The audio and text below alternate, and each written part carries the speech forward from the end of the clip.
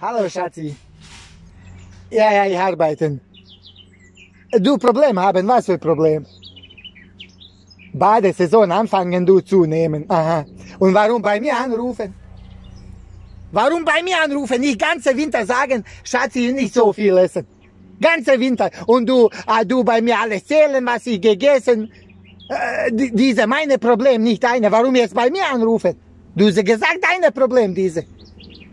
Was du machen jetzt? Keine Ahnung. Mach, was du willst.